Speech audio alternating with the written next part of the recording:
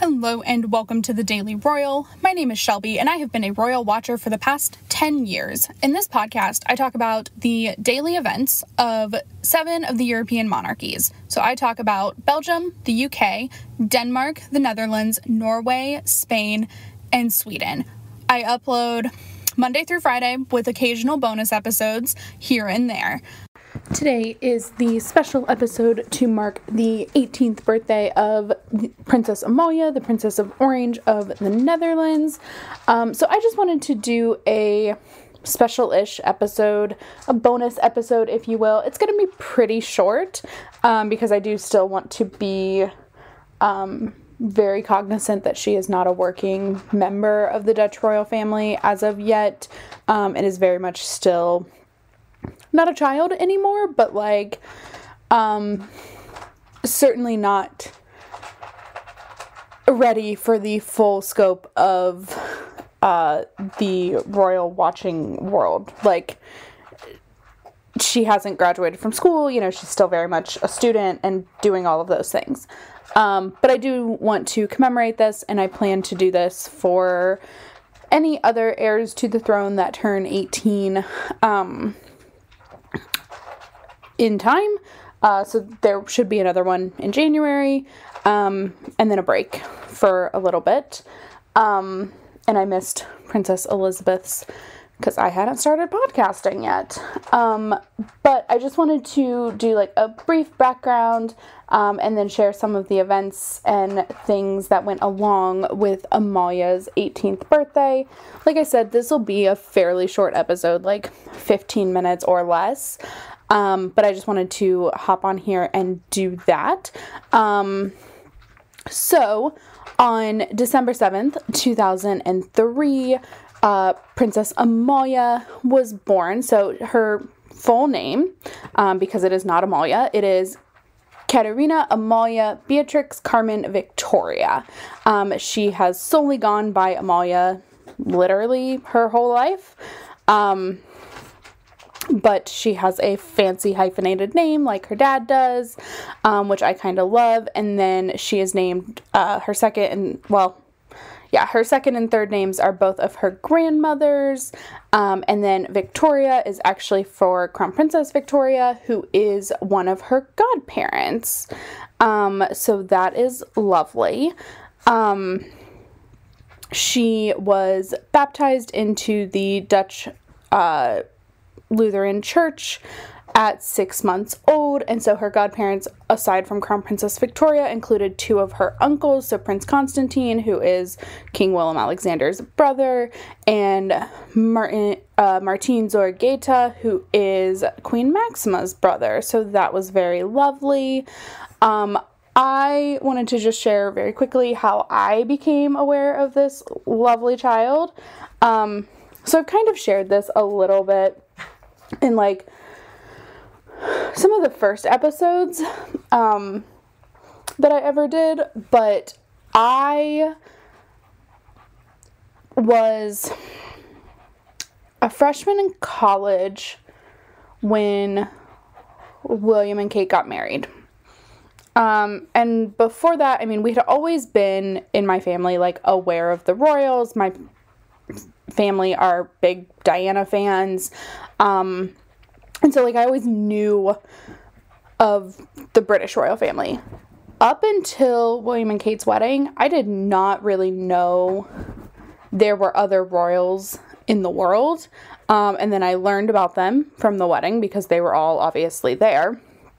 And like for some reason took a interest in the Swedish royal family, specifically in Crown Princess Victoria, who had just gotten married the year before. Um, and so, even though YouTube at the time was not nearly as vast as it is now, um, I was able to watch the Swedish royal wedding. Um, and because Amalia is a godchild of Crown Princess Victoria, who is literally a godparent to almost every single royal that exists. Um, no, it's not that intense, but she is a godparent to a lot of royals. Um, Amalia was in the wedding, and so that's how I like became aware of her. Um, and I just thought she was so cute because like she was seven uh, maybe not even a full seven, like six at the time, and just adorable.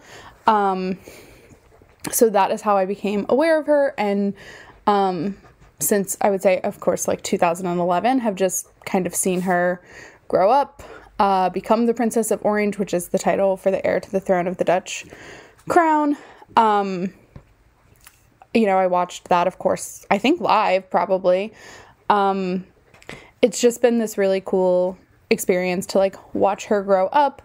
Um, and now, of course, she is 18 and made her first public speech the other day. And like, you know, it's just this like, oh yeah, I love this. Love watching them age. Um, so that was lovely. So, um, with that, um, we're just going to jump into the photos. So the next category I have, I kind of like outline this out so like I can talk about it in or, in a specific order. Um, but for Amalia's 18th birthday, I obviously knew they were going to release a series of photos, um, which they did. They released six, which I was surprised um, that they were all so similar. Um, but they released six new photos of her. Um, one of the really cute things is in she, there's ones um, there are three in a red dress and then three in like a black print dress. And in the red dress, she is wearing a ring, which is actually the ring that her father, King William Alexander, gave to Queen Maxima um, as like a push present. Um, so Queen Maxima got a very fancy ring for delivering each of the girls.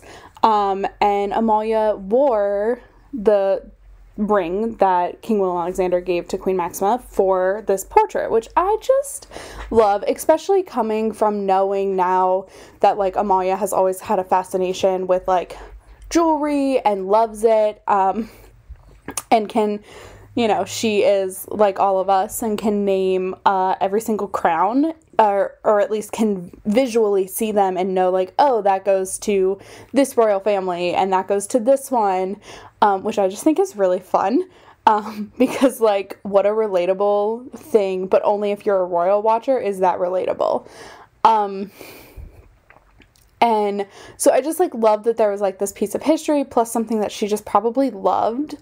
Um, and it, of course, has sentimental attachment to her specifically um, that I just really, really like. So that was adorable. Um, the photos are all really great.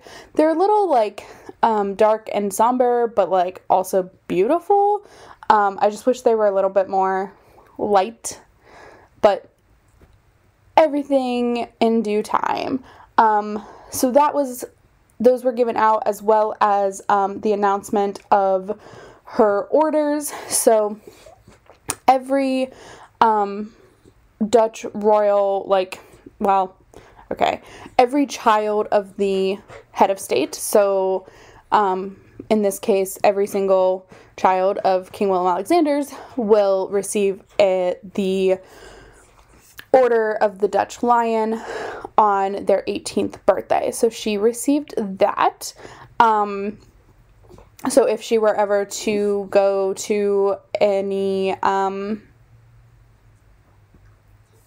gala event, she has a sash that she wears now, um, which is crazy. Um, we'll see if there are any gala events. It is not expected, anticipated that she will take part in Prince's Day next year, which is um, when King Willem Alexander, it's like the opening of Parliament for the Netherlands. Um, so she is maybe going to attend that. I, I think it depends one on her schooling, but also like just a number of factors. Um, I wouldn't be surprised if she didn't, but I wouldn't be surprised if she did. Like I could go 50 50 either way on it right now. Um, so that is very exciting. Um, she also received the order of, um, let me make sure I get the, the title right. The she received a Knight of the Order of the Golden Lion of Nassau, um, which is a shared order between the Dutch royal family and the royal family from Luxembourg. Um, so Nassau is the family name for the Netherlands and for Luxembourg.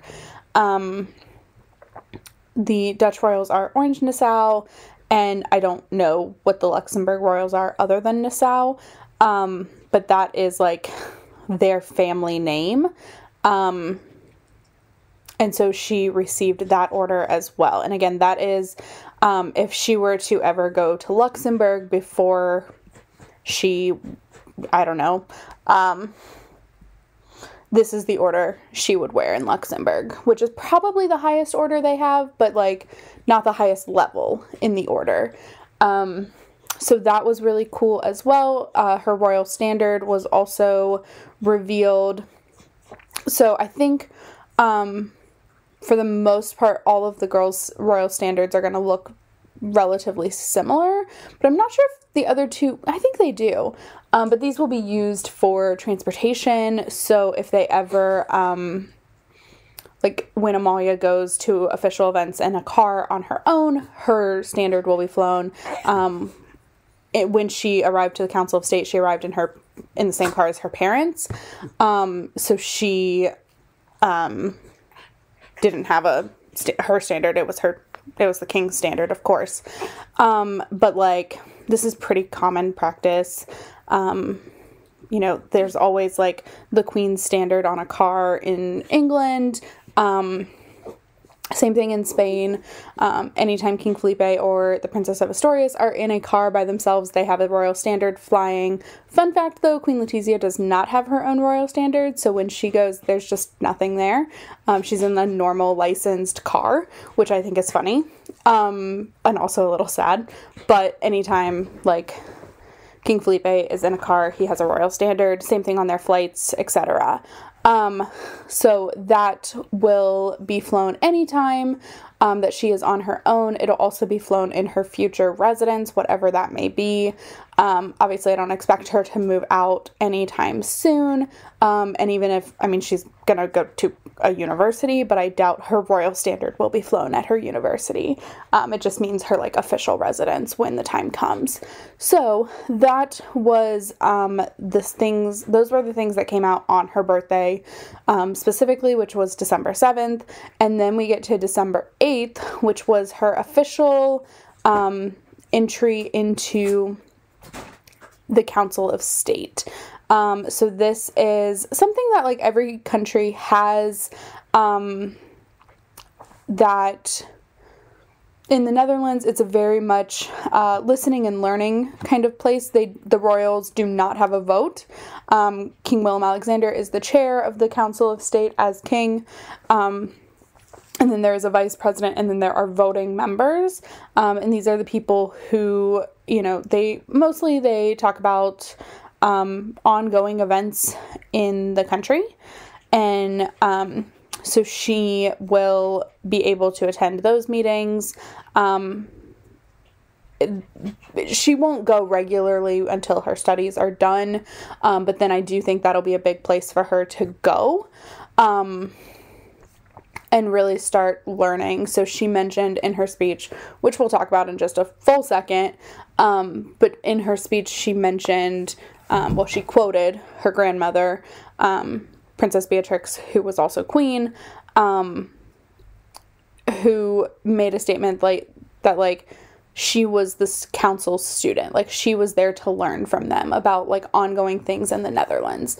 So Amalia, I think, will probably take that approach as well, just based on everything we kind of know on background, um, and then just like what she has said herself, will be very much willing to learn that way.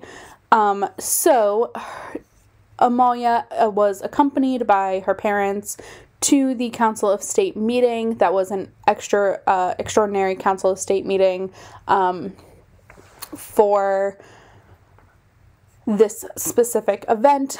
Um, her father opened the um, meeting and then handed over the floor to Amalia, which was um, fantastic. Um, I literally could cry thinking about this speech.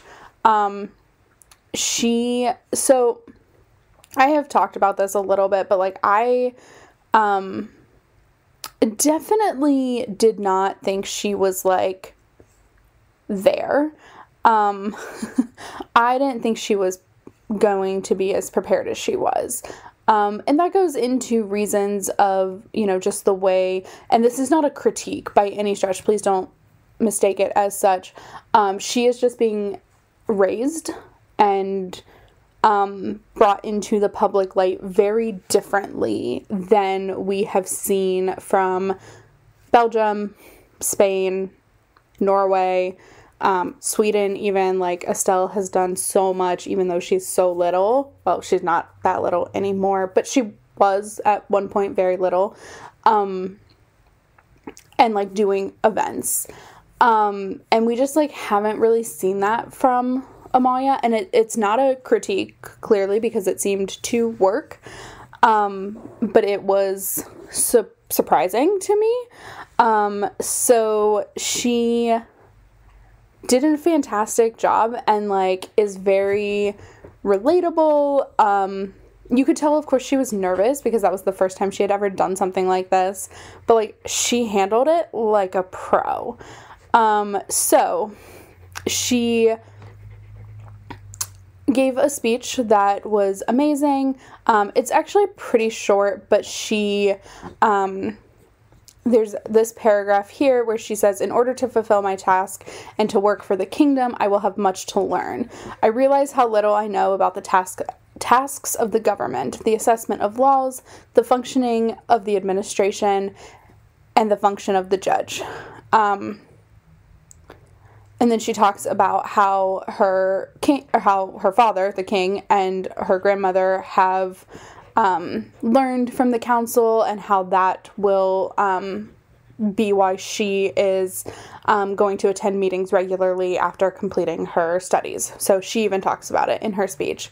Um, and then she said, um, she gave a quote from her grandmother that I kind of paraphrased, um, but the quote is For a very long time, members of the Council of State, I will regard myself as your student. I will try, conscious of my responsibility, to be a good student.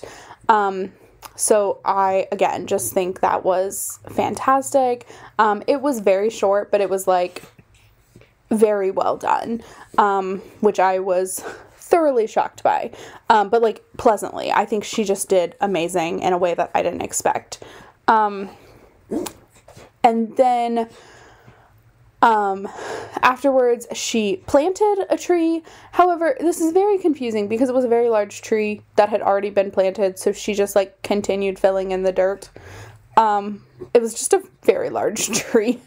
um, like I think it was a couple years old at this point already, and it wasn't planted like as a baby. It was planted recently to mark this, but it was just a well-grown tree. Um, so then I think after the tree planting, they went in and did a press conference. I'm not entirely sure of like the chain of events.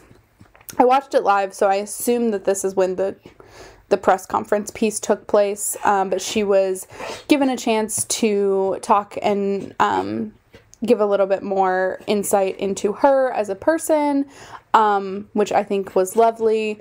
Um, you know, someone asked her about like her goals and dreams from her education because she doesn't she doesn't get to choose what she's gonna do, right? And this is the the sad part of royalty, um, and the hard part, and certainly why royalty is not um, all the glamour that it is cut out to be.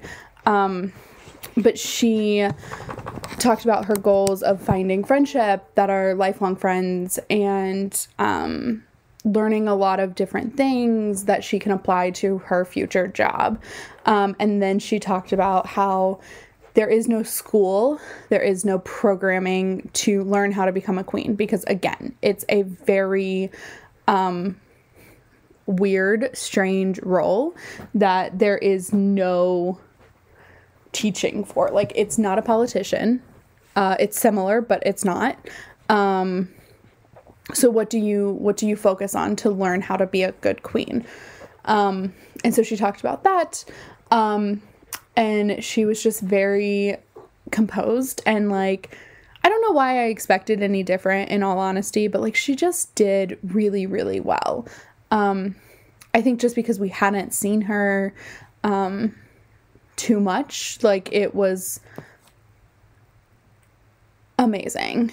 Um, so, anyway, that was Amalia's 18th birthday. Um, it was just wonderful to see. And I watched, like I said, I watched most of it live and then have watched things back with translations because I don't speak Dutch. Um, but you can always tell emotion from watching things. Like, no matter where you are, you can figure out what the emotion is. Um, and so that was just lovely in and of itself. So, anyway, that is the special episode. Um, I will be back tomorrow with another special episode focused on the Nobel Prizes, um, which I'm getting ready to catch up on now. So, with that, I will talk to you all tomorrow. Have a fantastic day. Bye.